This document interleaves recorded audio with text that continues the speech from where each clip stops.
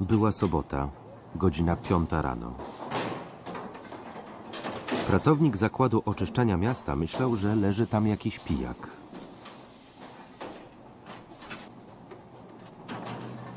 Nie lubię budzić śpiących na klatkach schodowych pijaków. Mogą być z tego kłopoty, powiedział. Dwie godziny później pewien mieszkaniec domu przy ulicy Szewskiej 7 wezwał pogotowie i milicję. W województwie krakowskim zdarza się rocznie około 300 śmierci, które kwalifikuje się jako nieszczęśliwe wypadki. I na tym koniec. Dlaczego ta śmierć stała się tak głośną sprawą?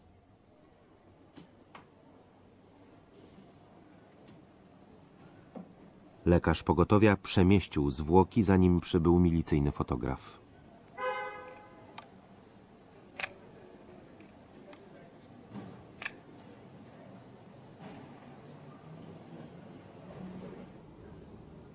jak się stało, jak.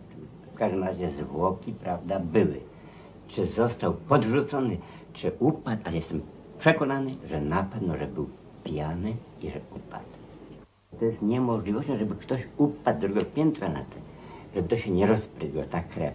Raczej, że został zamordowany gdzieś i podrzucony. Takie plotki tam.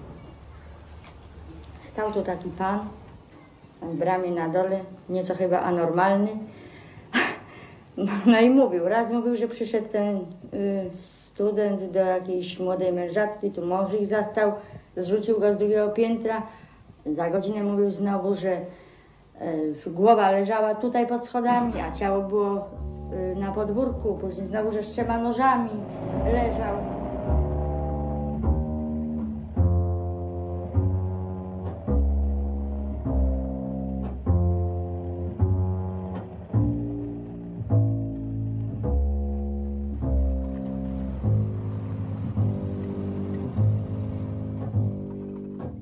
Zmarły student Stanisław Pyjas należał do niewielkiej grupy studenckiej, która współpracowała z Komitetem Obrony Robotników, działającą jawnie w Warszawie nieformalną organizacją opozycji. Polskie organa bezpieczeństwa śledziły działania dysydenckich studentów.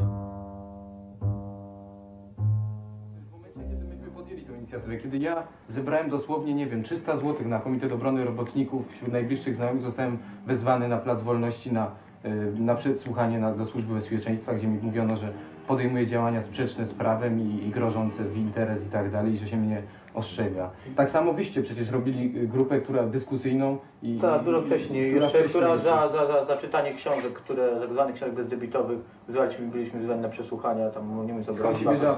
Więc spotyka się bez przerwy z tego typu reakcjami, kiedy goni za mną 15 panów i, i trzy, trzy samochody jeżdżą, które numery mogę panu podać, jeżeli pana interesują.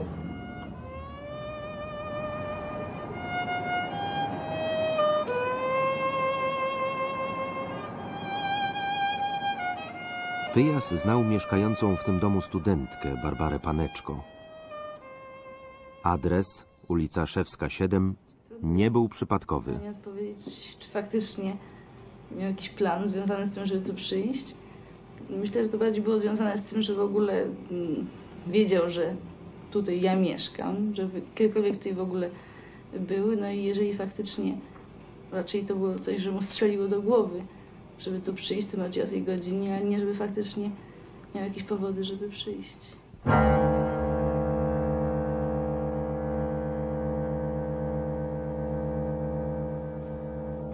Sekcja zwłok rozpoczęła się tego samego dnia o godzinie 12. Dokonywali jej najlepsi specjaliści Zakładu Medycyny Sądowej w Krakowie. Stanisław Pyjas doznał e, szeregu obrażeń twarzy ze złamaniami kości twarzy, nosa, żuchwy, szczęki e, i szeregu ran tłuczonych w rejonie twarzy. Te obrażenia spowodowały krwawienia z uszkodzonych naczyń krwionośnych, które ten krwotok spływał do jamy ustnej i otworów nosowych i doprowadził w efekcie do uduszenia, zachłyśnięcia się krwią do dróg oddechowych i do płuc Pyjasa.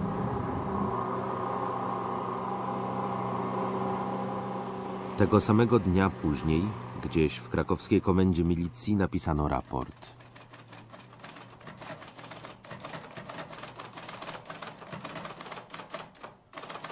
Stanisław Pyjas zmarł na skutek upadku na betonowy podest klatki schodowej.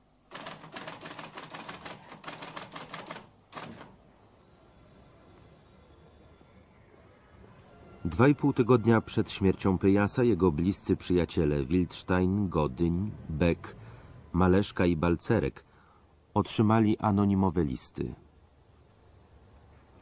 Wulgarnymi słowami szkalowano w nich Pyjasa i dawano do zrozumienia, że Pyjas jest kapusiem służby bezpieczeństwa i że takich skurwysynów należy tępić.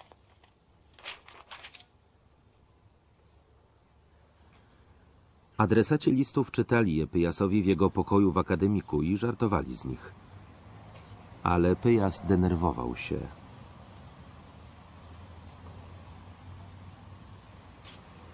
Z jego inicjatywy zrodziło się zażalenie do Urzędu Prokuratury. Pismo złożono w prokuraturze 5 maja. Półtorej doby później Pyjasa znaleziono martwego.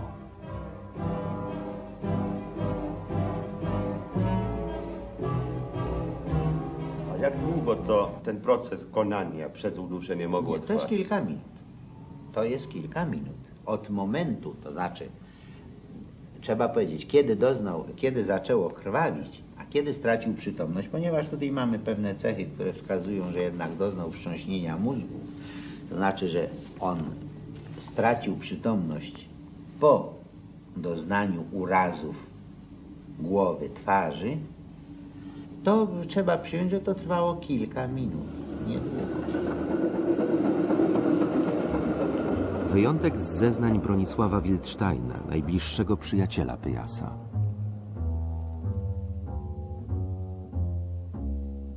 Dyżurujący w komendzie milicji oficer oznajmił nam, że ciało Pyjasa jest w zakładzie medycyny sądowej. Na drugim piętrze budynku powiedziałem strażnikowi, że jestem bratem Pyjasa i chcę zobaczyć ciało.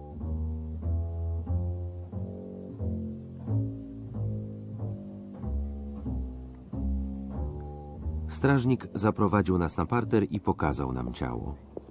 Było czymś nakryte. Zobaczyliśmy tylko głowę Pyjasa i obrażenia na twarzy. Moim zdaniem obrażenia były spowodowane uderzeniami.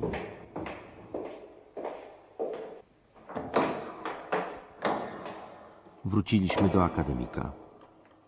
Nie pamiętam, ale możliwe, że powiedziałem, że Pyjas został zamordowany.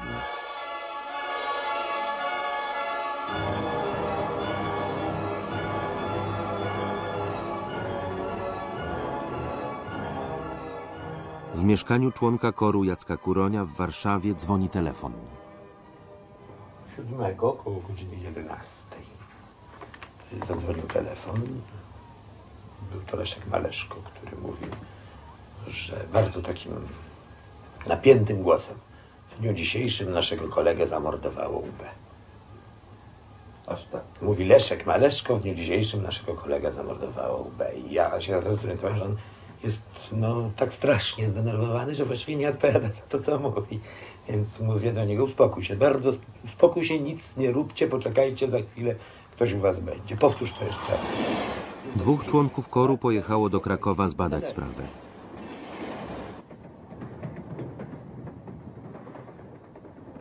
Dziesiątego maja korespondentom pism zachodnich w Warszawie rozdano oświadczenie koru dotyczące śmierci Pyjasa. W oświadczeniu połączono śmierć Pyjasa z anonimowymi listami i pogróżkami, które wcześniej dostawali członkowie koru oraz żądano wyjaśnienia sprawy śmierci i pociągnięcia do odpowiedzialności winnych zbrodni, niezależnie od stanowiska, które zajmują.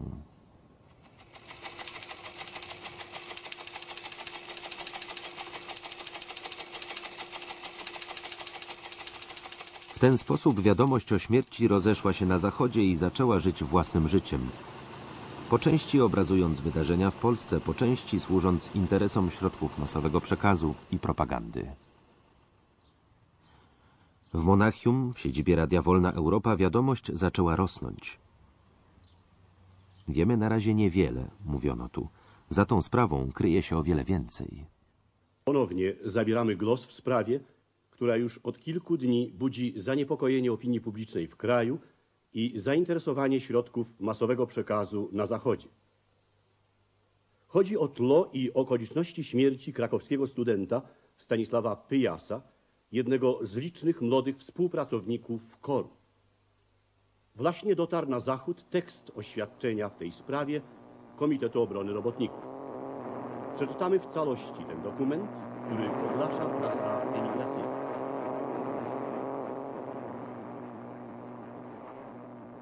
Kiedy wiadomość o śmierci stała się powszechnie znana, w krakowskim dzienniku w rubryce wypadków pojawiła się niewielka wzmianka. Nawiązując do wyników badań Zakładu Medycyny Sądowej, podano, że przyczyną śmierci Pyjasa był upadek na betonowy podest klatki schodowej.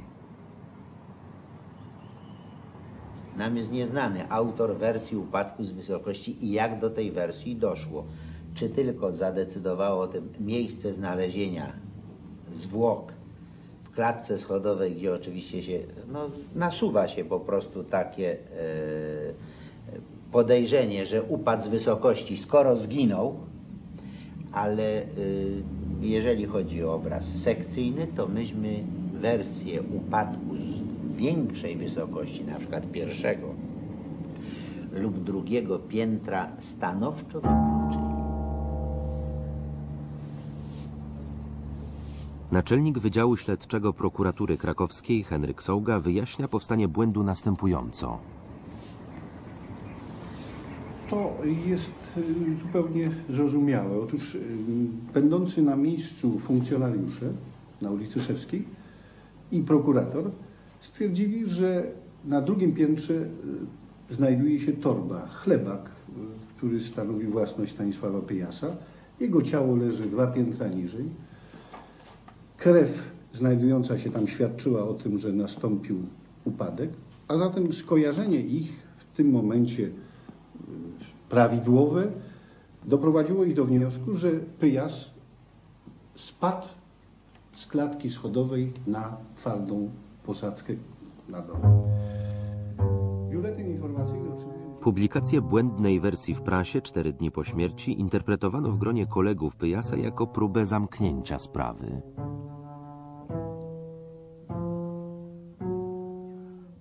Na prośbę przyjaciół Pyjasa i z pełnomocnictwa matki do śledztwa przystąpił ceniony krakowski adwokat Andrzej Rozmarynowicz. Gdy pan przystąpił do pracy, jaką teorię roboczą pan miał? Niestety będę się musiał uchylić na pytanie pana redaktora. Obowiązuje mnie tajemnica zawodowa. Wszystko, co wiem... Rozmarynowicz, członek Rady Adwokackiej Episkopatu, uczestniczył w przesłuchaniach, przejawiając wiele inicjatywy. Za jego sprawą włączono do śledztwa anonimy otrzymywane przez Pyjasa.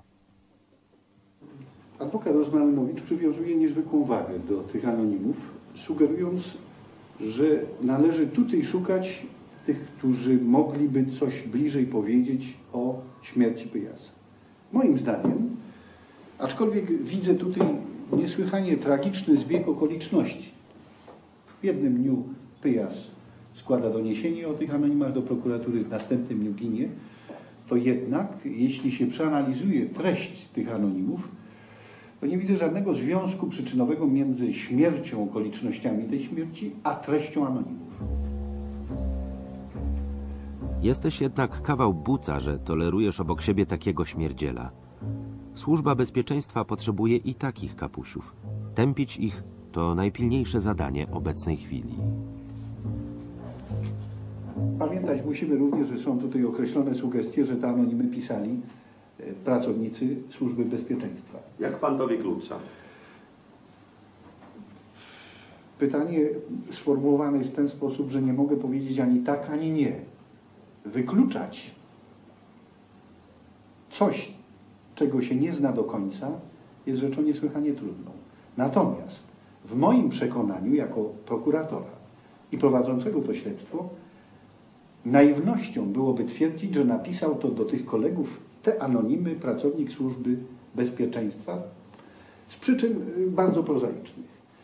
Jest to zrobione w sposób tak naiwny, że żaden fachowiec, fachowiec, który chciałby skłócić kolegów, nie zrobiłby go w, te, w tak naiwny sposób. Po drugie, proszę zwrócić uwagę przy mm, analizowaniu treści tych anonimów, niezależnie od języka, który jest wulgarny, wredny, napastliwy, że znajdują się tam pewne elementy wiedzy o Pyjasie sięgające grubo wcześniej, aniżeli wydarzenia, co do których my możemy mieć czasowe pewność, że Pyjasem się ktoś interesował.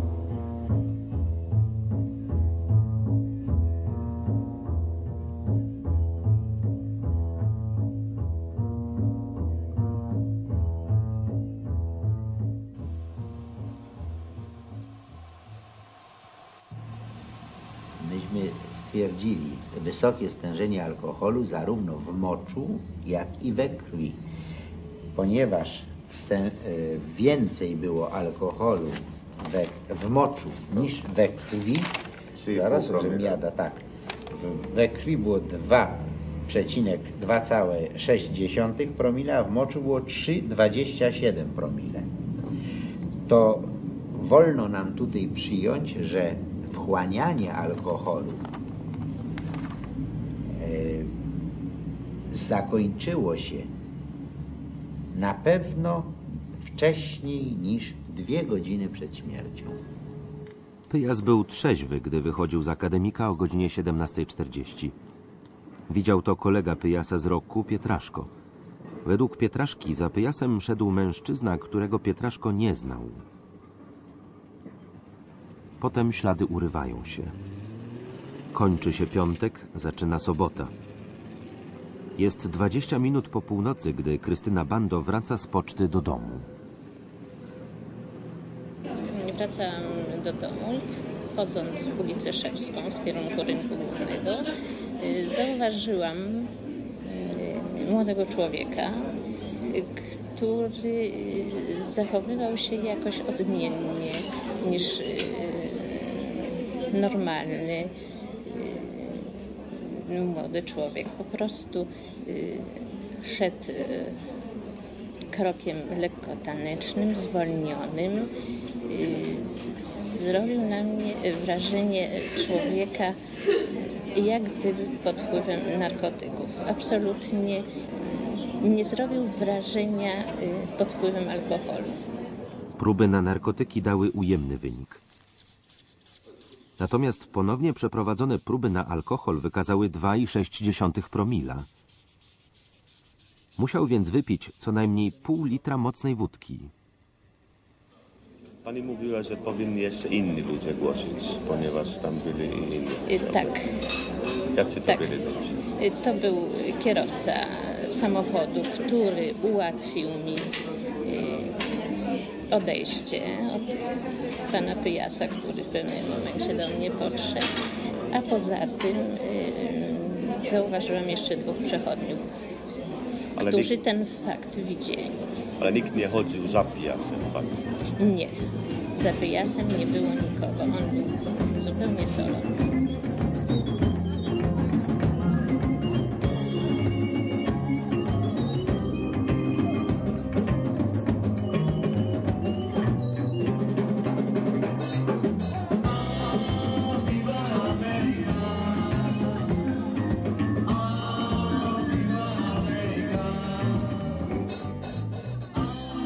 Klub nocny niedaleko ulicy Szewskiej raczej nie był lokalem, w którym Pyjas pił alkohol. Ale nie widziano go w żadnej restauracji. Oprócz Krystyny Bando, nikt nie zwrócił na niego uwagi krytycznej nocy. Zbliżała się godzina wskazana przez lekarzy.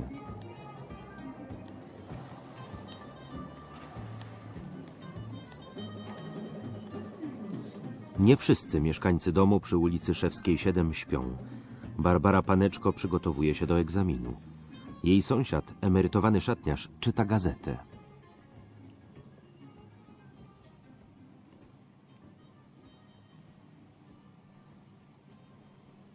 W mieszkaniu to nic nie słychać z tego mieszkania. jeżeli nawet coś by się działo na y, korytarzu, to w spokoju nic nie słychać nawet. W każdym razie nikt nie dzwonił, ani nikt nie stukał, ani tego w każdym razie nic nie słyszałam takiego czegoś.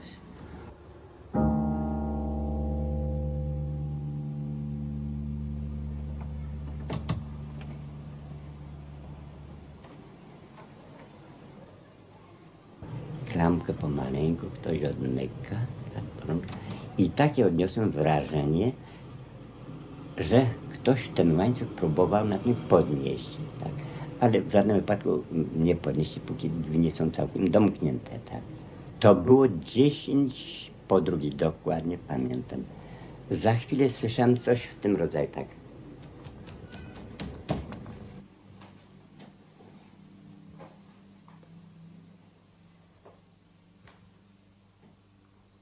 W sypialni piętro niżej stara wdowa pani Derewacz, której okna wychodzą na klatkę schodową, budzi się na odgłos trzasku. No silny dosyć trzask był. Jak mnie zbudził, bo spałam. Nie mogłam usnąć, bo no właśnie usnęłam i zbudził mnie ten czas. Tak koło pół do trzeciej. Dziwiłam się sama, co to może być nas, to też no coś spadło. Nie było słychać ani głosu, ani nic, tylko czas.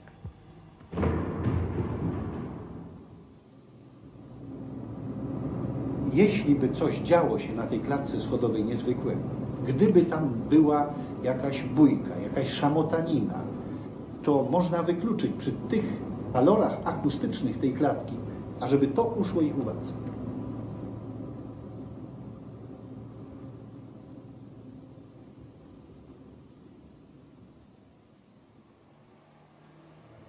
Cztery dni po śmierci sprzed Uniwersytetu Jagiellońskiego odjechał autokar ze studentami w kierunku Gilowic, małej góralskiej wsi na południu Polski. Rektor uniwersytetu zorganizował transport. Pyjas był jego studentem. Cmentarz w Gilowicach był obstawiony przez milicję w cywilnych ubraniach. Miasto zniszczyło mego syna, powiedziała matka. Dziadek pomacał głowę Pyjasa. Trafił na ślady sekcji. Mój wnuk został zastrzelony, powiedział.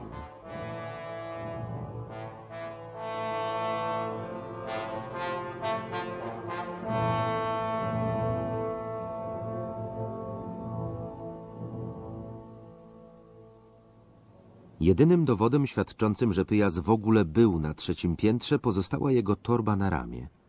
Stąd ją zabrałem, mówi sąsiad. Między naszymi drzwiami, a między sąsiadką, prawda, coś jakaś zielona, jakaś torba szmata leży. Więc ja laską tak wziąłem, tak, patrz, jakaś torba jest, dobrze. I jakieś tam książki czy coś, prawda. Ja tą torbę wziąłem, tak jak w tej chwili siedzę, otworzyłem.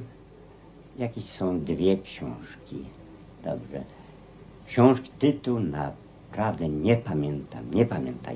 Ale książka nie jakaś powieść, coś, tylko jakaś naukowa książka. A co pan robił? Tak. Poza tym druga książka, co się okazało, prawda, pamiętnik. Pamiętam datę ostatnią, prawda, 30 kwietnia. Tak. Dnia 30 kwietnia. Irracjonalność tego świata przeraża mnie.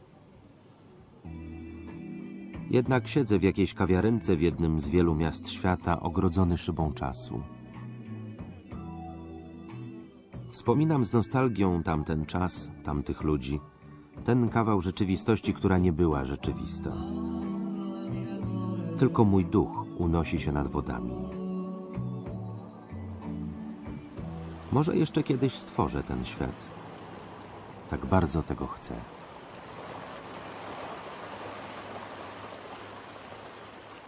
Te obrażenia, które miał Pyjas, oczywiście mogły zostać, z, mogły być zadane jakimś narzędziem aktywnym. aktywnym, czynnie, to my to nazywamy urazy czynne, to znaczy pięść, noga, ale równie dobrze powstały one z, od zetknięcia się z twardym przedmiotem. Upadek, i taki upadek mógł na przykład nastąpić na ulicy i krawężnik chodnika, w klatce schodowej krawężnik, brzeg muru, czy wreszcie upadek na podłogę, na posadzkę, nierówny kamień.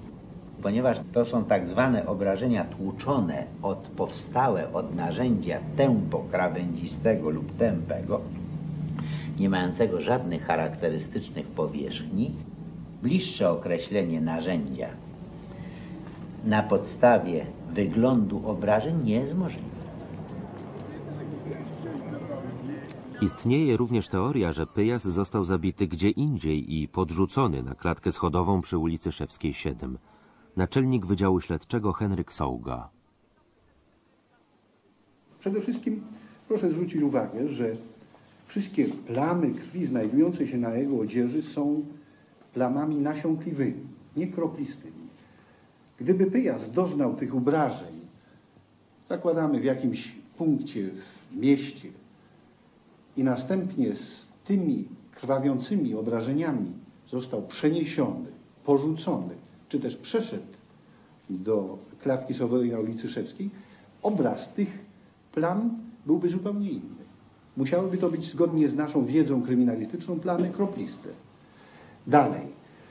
Charakter tych obrażeń i wprawdzie sugeruje, że one zostały zadane, że mogły być zadane przez, zwłaszcza przez pięść, to jednak jeśli porównamy to z miejscem znalezienia, z tym wybrzuszeniem, z tym, z tą nalewką, która znajduje się na klatce schodowej betonową, to wszystko przemawia za tym, że on upadł w sposób nieamortyzowany i ręką, i, i przemawia za tym jednocześnie ta ręka, która znajduje się podwinięta pod lewym bokiem jego ciała.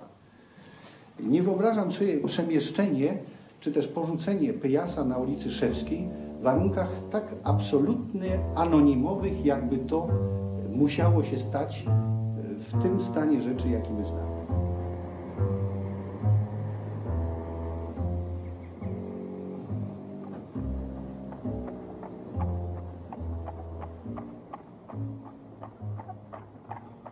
Równolegle ze śledztwem w sprawie śmierci Pyjasa rozwinął się drugi wątek. Na tej samej stronie gazety, co błędna notatka o śmierci Pyjasa, była zapowiedź juwenaliów. Kraków dekorowano na to tradycyjne święto. Trudno mi powiedzieć, czy, czy u nas tylko, czy tam, czy od nas, czy stamtąd tu ktoś przyjeżdżał. W każdym razie zaczęto się myśleć o takich rzeczy, żeby bojkotować juwenalia na takiej właśnie zasadzie, że, nie że nieuczestniczenie jako demonstracja jest najspokojniejszą formą demonstracji. I dano nam znać, że oni chcą bojkotować juwenalia i że oni nas bardzo proszą o pomoc techniczną. To jest opowiadacze, bo my mamy powielacze, oni nie mieli, wtedy jeszcze są i dziś nie mają. I że w związku z tym oni będą nam podawać teksty, a my im będziemy wysyłać odbite rzeczy. I to przez cały czas funkcjonowało. To znaczy ja przez telefon odbierałem teksty z Krakowa, te teksty odbijano tutaj i ludzie wozili do Krakowa. W związku z zamordowaniem naszego kolegi Staszka apelujemy o nieuczestniczenie w juwenaliach i prosimy o współudział w trzydniowej żałobie, pisano na klepsydrach. Kiedy zaczęły się one pojawiać na ścianach akademików i murach kościołów, milicja i aktywiści ZSSP zaczęli je zrywać. W katolickim kraju poczytano to za obrazę majestatu śmierci. Msza żałobna za Pyjasa rozpoczęła się w ostatnim dniu juwenaliów w Bazylice Dominikanów. Stanisława wstrząsnęła go. Się dlaczego.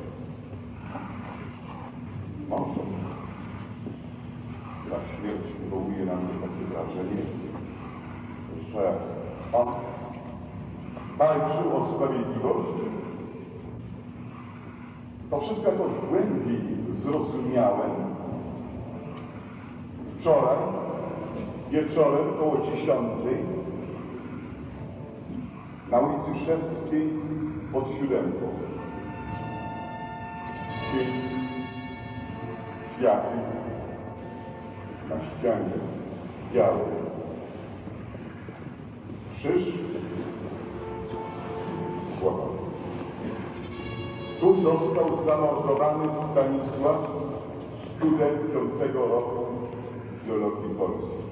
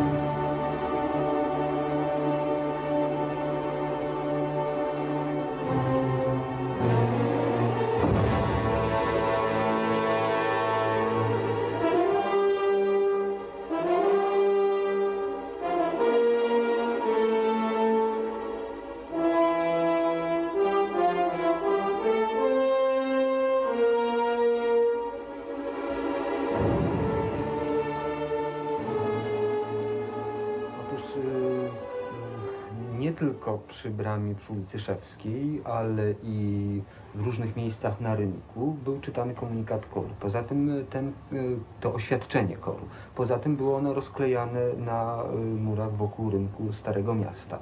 Y, Czytali to czytały to oświadczenie różne osoby.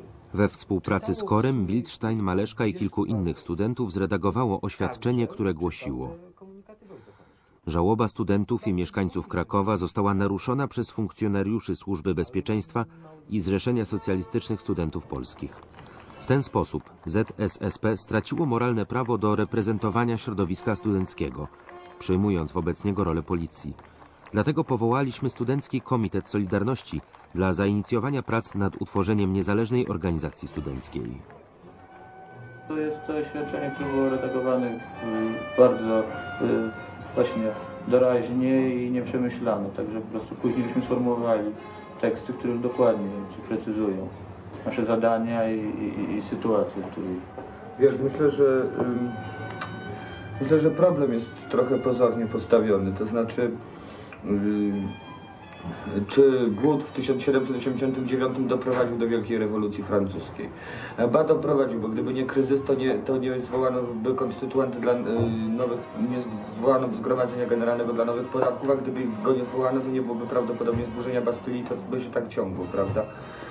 Z tym, że y, ten proces, y, który kulminował w Wielkiej Rewolucji Francuskiej, kulminował, ten właściwie narastał od wielu dziesięcioleci i narastał poprzez szereg innych wydarzeń.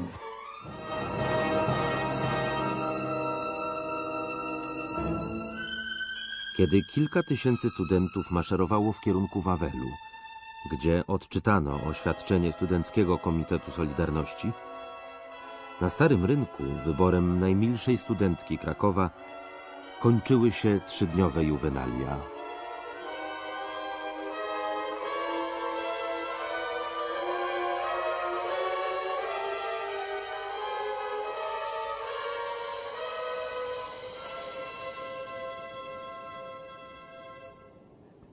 Dzienniki zachodnie pisały. Morderstwo w Krakowie budzi niepokój. Tysiące biorą udział w żałobie. Studenci maszerują, nowy komitet powstaje. Opozycja w Polsce podnosi głowę. Pięciu polskich dysydentów aresztowano. Cele wypełniają się. Przepaść pomiędzy panującymi a będącymi pod panowaniem. W Polsce szerzy się nieufność i strach. Gierek między młotem a kowadłem. Dziwne pogłoski. Pyjasa nie zamordowała krakowska milicja, ale agenci rosyjscy razem z tymi Polakami, którzy dążą do usunięcia Gierka. To, co pisały dzienniki na Zachodzie, docierało do Polski przez Radio Wolna Europa wraz z odpowiednim komentarzem. Aresztowania wśród działaczy Komitetu Obrony Robotników jeszcze bardziej podkreślają chorobę trawiącą od roku polskie życie społeczne i polityczne. Opinię tę wyrażono na łamach tygodnika włoskiej partii komunistycznej Rinascita. Msze żałobne w intencji Pyjasa odprawiono również w Lublinie i w Łodzi. Te zdjęcia są z odprawionej 20 maja mszy żałobnej w Warszawie. Przy okazji mszy żałobnych odczytywano oświadczenie Studenckiego Komitetu Solidarności. Również polska prasa zaczęła pisać o sprawie. Widziała w tym tylko prowokację, która karmi wrogie Polsce zachodnie ośrodki propagandowe. Ani jedna gazeta nie próbowała szukać odpowiedzi na zasadnicze pytanie w całej sprawie. Dlaczego przedstawione przez tak niewielką grupę ludzi oskarżenie o morderstwo odbiło się tak wielkim echem w społeczeństwie?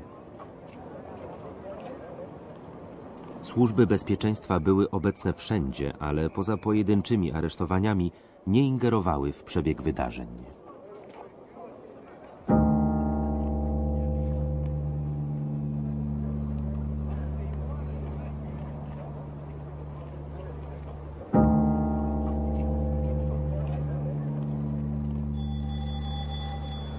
Czerwcu studenci rozjechali się na wakacje. W lipcu zwolniono trzymanych w areszcie śledczym członków koru. Oskarżono ich o rozprzestrzenianie fałszywych informacji, które godzą w interes Polskiej Rzeczpospolitej Ludowej. Tego rodzaju paragraf istnieje w kodeksie karnym każdego państwa. Zmienia się tylko jego interpretacja. Czy informacja, którą członkowie koru rozpowszechniali w sprawie śmierci Piasa była precyzyjna, prawdziwa we wszystkich przypadkach? absolutnie. Y, Komunikat, który żeśmy, oświ- oświadczenie o śmierci było precyzyjne absolutnie. Może pan, to są autentyczne, konkretne, sprawdzane z dwóch źródeł cytat.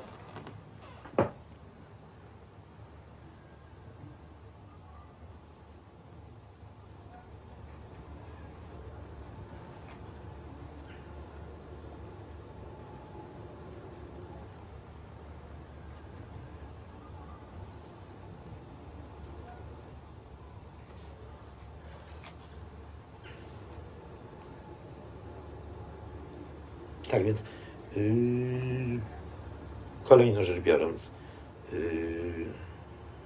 pierwszą informację mnie tak podano z Krakowa, yy, że nie miał ani krewnych, ani przyjaciół. Okazało się, że tam jest ta dziewczyna, którą znał. I ta pierwsza informacja, którą ja podałem, była nieścisła. Tak po prostu otrzymałem wiadomość i tak ją przekazałem. Następne zostały po prostu przekręcone. Yy, Moje słowa zostały przekręcone. Y, To znaczy, że nie ulega najmniejszej wątpliwości. Ja takiego zdania nie mogłem powiedzieć. Tu jest powiedziane, że nie ulega Ale najmniejszej kto przekręcił wobec tego to? Przypuszczam, że to w przekazie, ja to mam stale, regularnie. To znaczy, że ja mówię dziennikarzom, dziennikarze dają depesze, depesza przychodzi do Wolnej Europy, Europa odczytuje, oni robią komentarz, dodają zdania, słowa. I takie przekręcenia to ja mam nie, niewątpliwie. Właśnie takie, że nie ulega najmniejszej wątpliwości. To ja czegoś takiego nie powiedziałem.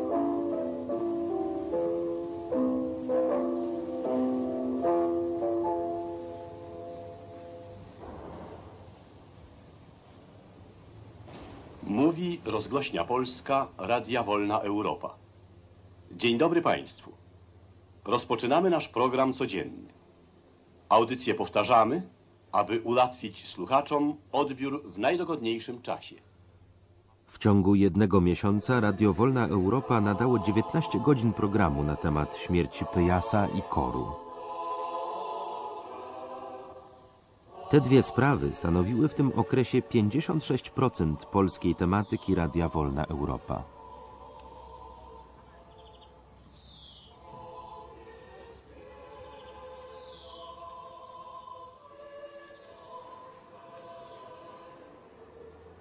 Śmierć Pyjasa zaczęła żyć również w kręgach polskiej emigracji politycznej.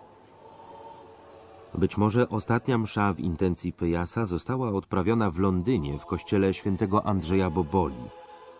Obecni byli wszyscy emigracyjni przedstawiciele politycznych władz Polski. Z ostatnim ambasadorem przedwojennej Polski, Edwardem Raczyńskim, na czele.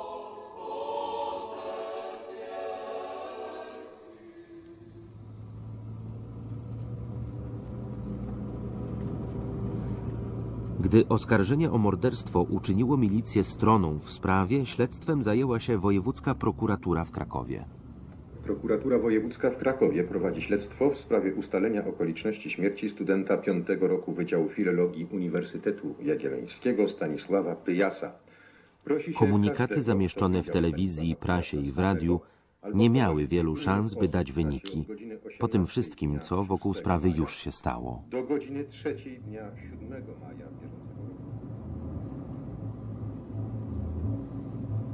Wszystkie nasze starania, ażeby odszukać ludzi, z którymi ewentualnie przebywał, spełzły na niczym. Nie znalazł się żaden człowiek, w którego towarzystwie Pyjas krytycznego popołudnia czy też wieczora przebywał. Ale też nie wiemy, czy istotnie przebywał w czyimkolwiek towarzystwie.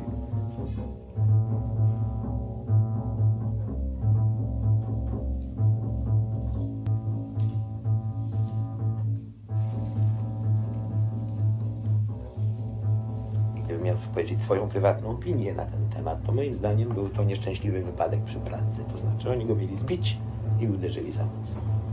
Czy panowie się zgadzają? No ja nie wydaje mi się, żeby y, jeśli to było y, morderstwo, to żeby, to ono, żeby ono zostało y, zaplanowane. Wydaje mi się, że było to przypadkowo.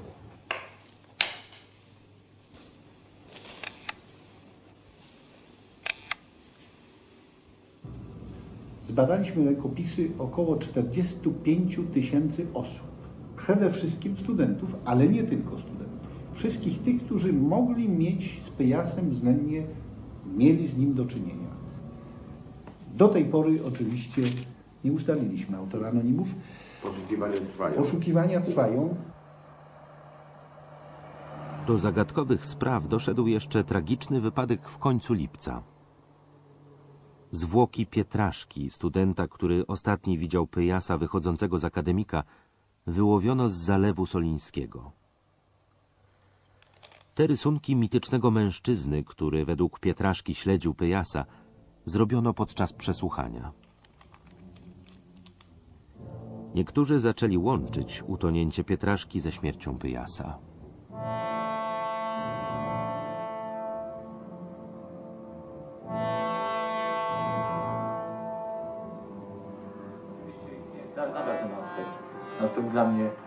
Nie wyjaśniony do teraz, znaczy dla mnie mniej więcej jednoznaczny, dla nas wszystkich jednoznaczny, znaczy fakt morderstwa.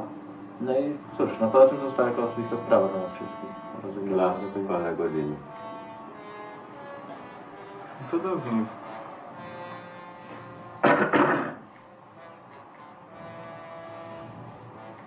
Ja mógł powtórzyć to, co powiedział Bronek w tej chwili. Niż przede wszystkim jako po prostu śmierć Staszka. No właśnie jest pewnym właśnie faktem przede wszystkim osobistym, a druga sprawa. Nałożyły się do tego jeszcze szereg niewyjaśnionych do dzisiaj historii, łącznie ze śmiercią no, ostatniego świadka, do tej pory niewyjaśniony. Czy pan, pan co sprawia? Proszę? Czy pan by co sprawia? Znaczy ja zmienię...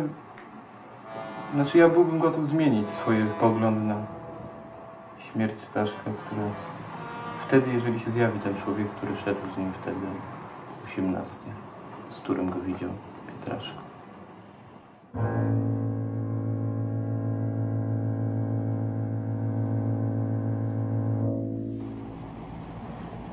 ten mechanizm śmierci, y, który wystąpił u Pyjasa, dla nas nie jest czymś rzadkim. My to obserwujemy. Że obrażenie samo w sobie nie jest obrażeniem śmiertelnym, bo takich obrażeń w bójkach, w pobiciu, przy upadkach, przy jakichś urazach mamy właściwie dziesiątki, a może nawet setki rocznie. Bo właściwie do takiej śmierci może nastąpić przy każdym wybiciu zębów, przy każdym złamaniu nosa, przy każdym stłuczeniu warg. Jeżeli tylko ten człowiek straci przytomność i do tego jeszcze będzie w takiej pozycji, że mu ta krew nie będzie swobodnie wypływać na zewnątrz. We wrześniu prokuratura postanowiła umorzyć śledztwo w sprawie śmierci Pyjasa. W toku śledztwa nie stwierdziliśmy, żeby śmierć jego była następstwem przestępczego działania osób drugich. Innymi słowy, doszliśmy do przekonania w oparciu o te dowody, które zebraliśmy, że najbardziej prawdopodobnym, najbardziej realnym przyczyną śmierci było, był nieszczęśliwy wypadek, jakiemu y, Stanisław Pyjas uległ w znanych okolicznościach w dniu 7 maja. Oczywiście to wcale nie wyklucza, że mogło nastąpić bądź też uderzenie go, bądź też inne obrażenia mógł ich doznać, które są stwierdzone w czasie y, sekcji zwłok. Jednakże śledztwo wykazało ponad wszelką wątpliwość, że te obrażenia nie mają żadnego związku przyczynowego z śmiercią Pyjasa. Adwokat rodziny złożył zażalenie w związku z umorzeniem śledztwa. Myśmy się od początku opierali na hipotezach, a nie na faktach. Stąd y, biegli nie spełnili swojej roli i wydaje mi się, że postawiłem im poważną ilość pytań, na które nie otrzymałem odpowiedzi, a jeśli odpowiedzi otrzymałem, to odpowiedzi te pozostają w sprzeczności z obowiązującą logiką formalną po prostu. Tak jak my to w hipotezie widzimy, inaczej, tak jak to widzi prokuratura wojewódzka w swojej hipotezie umorzenia e, śledztwa, to tak e, śmierć nastąpić nie mogła. I uzyskać odpowiedź mogliśmy tylko od biegłych. Tej odpowiedzi myśmy od biegłych nie uzyskali. Stąd domagam się jednego tylko, mianowicie ponownego sprawdzenia całości sprawy przez y, inny zespół biegłych, bo biegli mogliby pewne hipotezy odrzucić. To dla mnie nie budzi żadnej wątpliwości. Adwokat Rozmarynowiec pisze, że oprócz śmierci Piasa wszystko jest hipotezą. Co pan na to? No, oczywiście można tak twierdzić y, w każdej sprawie właściwie, gdzie następuje śmierć człowieka, przy której nikogo nie było, można snuć dowolną ilość hipotez i domysłów. Nie wszystkich wersji, nie wszystkich pogłosek można mm, śledztwem, w toku śledztwa y, zdezawuować. Są takie pogłoski i takie hipotezy, których nigdy nie będzie żaden prokurator w stanie zdezawuować jako kłamliwych, jako nieprawdziwych, bo trzeba by było wtedy sięgnąć do już wręcz anegdotycznej przypowieści, że najtrudniej jest garbatemu udowodnić, że nie ma garb.